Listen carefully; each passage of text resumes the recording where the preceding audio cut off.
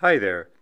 I'm Brian Esparza Walker, and this is another episode of my video and podcast explainer series on the political science behind modern American and Canadian constitutionalism. Today's session is on John Rawls as a representative of the old style liberalism in North America. Where I grew up is close to Maine and has always been a bit Boston centric. So perhaps there was some sort of geographic destiny in me falling so hard in love with American political philosophy. Growing up in Canada, where the idea of democracy has always been a bit of a hard sell, representation by population was a slogan, but not really an actuality, or not really a reality. Uh, it was immensely mind opening to uh, go to the United States and first study and then for 10 years teach American political theory uh, at the University of California. This is a picture of the walk I took every morning when I went out to get bread. And this was the vision of my neighborhood that I got uh, at the end of the eight mile bike ride from UCLA, where I worked, to Venice, where I lived. And in LA, I learned the secret of happiness on earth, which is marry a Mexican. Get the best of that little uh, uh, northern uh, Mexican Indian uh, magic and resistance and a bit of that Spanish Spanish. What's not to like? By the end of my time in California, though, the culture was beginning to live up to the reputation for vapidness and shallowness. It had not been like that when I moved there. It was a scintillating city full of fascinating, well read people. But by the time I was out of the university uh, in 2019, uh, everyone seemed to be talking in the same shallow ways and representing a great shift from the uh, progressive leftism of the pre 1990s uh, period that my teachers had taught me. There was like a 180 degree shift away from all that uh, towards uh, new race ideology Here's a cover of The Economist magazine. God bless them for their well balanced journalism. Even this article is not as negative as the title makes it sound. They've really well balanced articles on wokeness and the woke movement. It's a, a, a cross continental movement towards uh, a form of uh, political thinking focused on raising up minorities and uh, giving them uh, more resources and making reparations for the past. Uh, it's uh, everyone began to be influenced by the same uh, raise up the minorities, make reparations model, but those models, by only looking at 25 or 30 percent of the population, aren't really looking at everybody. John Rawls is a representative of the previous generation of liberal democratic thinkers in the United States. He was writing at the end of the 60s, well, all through the 60s, 70s, 80s. He was very, very influential. He was a descendant of the uh, civil rights movement that fought Jim Crow in the United States, uh, in the United States and the American South.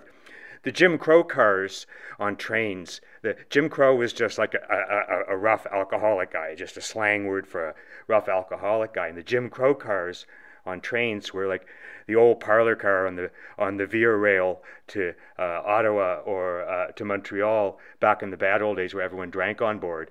It was full of ruffians and polite white people uh, liked to be able to buy tickets for their fancy parlor car where they were, they were able to escape the riffraff, and black people complained that if white people were able to get into the Jim Crow car, so should they. Now, it shouldn't be just one group that is a fancy parlor car. Either give black people a parlor car of the same level uh, or uh, make everybody be in the same parlor cars so that the general quality of the parlor cars goes up.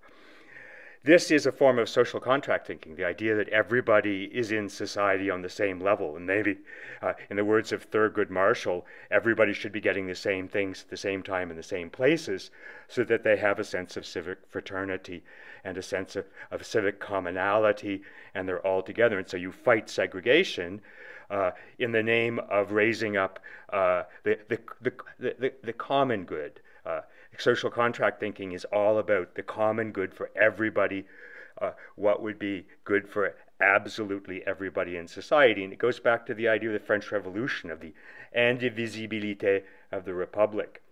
in the 1980s and 1990s, people begin to uh, reject this model completely in the name of a completely different model of society where law is no longer based on a kind of a democratic attempt to figure out what everyone needs and to satisfy that, as in the social contract tradition that comes out of Rousseau and the idea of civic fraternity and so on. Uh, the, that's the tradition that John Rawls is in.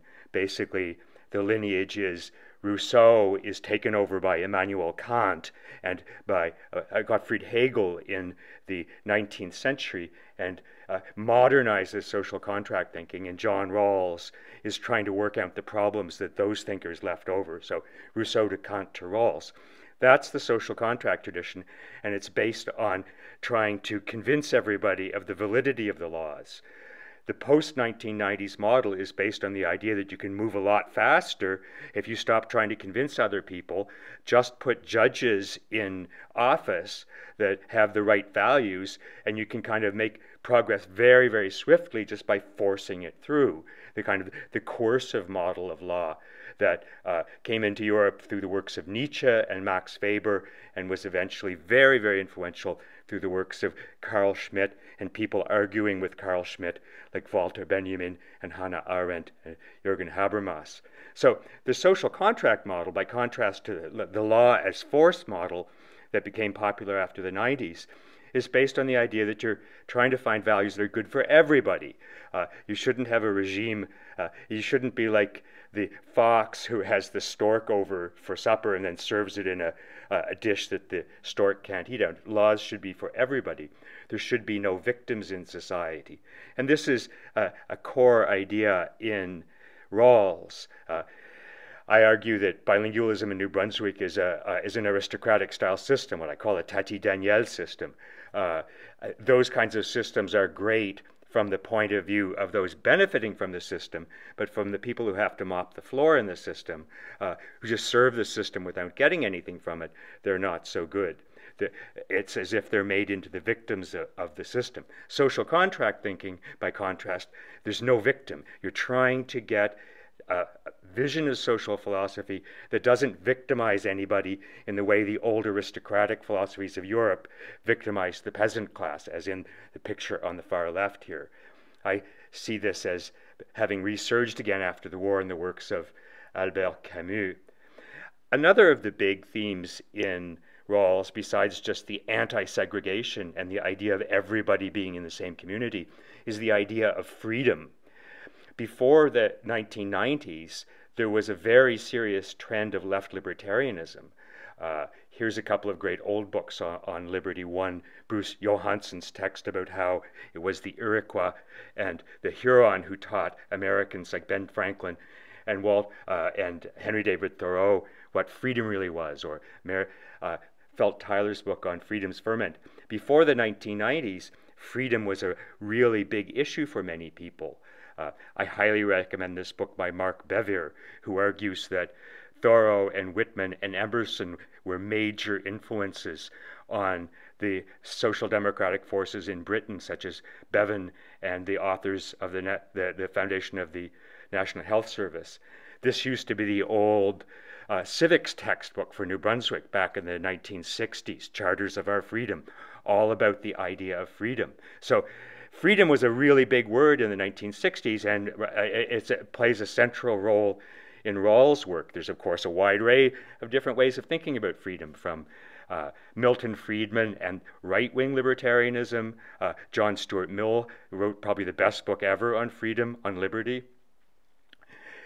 One of the forms of liberty that's most important uh, in the 1960s and 1970s, uh, progressive left, is the idea of diversity in thinking, that uh, any idea has to be seen from a lot of different sides. So if you get kind of a one dimensional consciousness, one dimensional man, the kind of the McDonaldization of the mind, uh, then it's a real problem. The modern uh, left is, uh, has a very different model. It's the idea that the, uh, the informed population is not one that sees all sides of the argument, an informed population is one that has been educated in the correct side uh, of the argument. Uh, uh, the, the, the, the new post progressive leftism is about thought standardization and about to uh, Jacques Poitras of the CBC just continually writes the same article. All uh, people who resist bilingualism are Engli- ignorant English people, and they need to be corrected, and they need to go to some kind of bilingualism camp. So the old pre 1990s leftism was anti puritanical. It was about toleration. It was about seeing both sides of an issue, and it hated ethnic politics. Post 1990s leftism, the shift is entirely uh, in a different direction. Uh, the standardization is fine as long as it serves the needs of minorities like Acadians or Black Power activists or Latino activists. So it's a very confusing outcome because a formerly progressive movement is now profoundly anti democratic and in some ways anti ethical. Uh, a, a, journalist like Jacques Poitras acting as a naked uh, partisan, there's a conflict between the idea of being a journalist and being a partisan. This brings me to another topic in Rawls, which is the idea of being coherent with your values. One of the big problems with politics in my own home province of New Brunswick is that people talk about social contract all the time without any intention of living up to it as an ethical ideal. And they talk about cultural equality all the time, but purely as a way of clobbering other people. It's never a, as an ethical idea, it's all from the point of view of legalism and naked self interest. And so, in many ways, the post 1990s period in North America is when the left becomes post ethical. It's no longer, it, it uses an ethical language of democracy and rights and cultural equality and social contract. But those are all weaponized only. They're never actually used as ethical ideals. And in this podcast, I see myself, I'm an Acadian person. I inherited uh, an Acadian culture through my dad, who was the son of an Acadian mother. Uh, but I see myself as speaking up in the name of a progressive Acadianism, one that would leave behind the ethnic populism and unethical uh, unfairness of the old models of Acadianism for something new, more fair, and more just.